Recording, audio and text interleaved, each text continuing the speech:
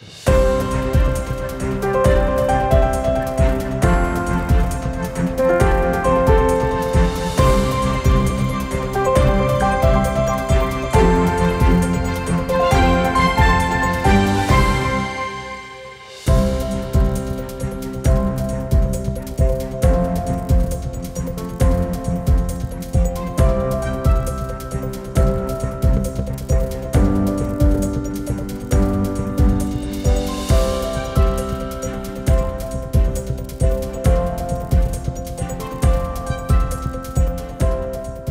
这条船上其实我们要要用了这个将一万多吨的这个这个低温钢，那么也是占到船的大概三分之一。对我们船厂来讲，一方面它降低了建造成本，另外一方面呢，我们对船厂就是缺料补料啊，这个国产呢，这它就非常方便了。那么同时的话，就是说我们这种低温的这种材料的这个研制呢，对今后我们拓展到这个什么极地船舶啊，更加低温环境当中的其他领域应用的，也有广阔的前景。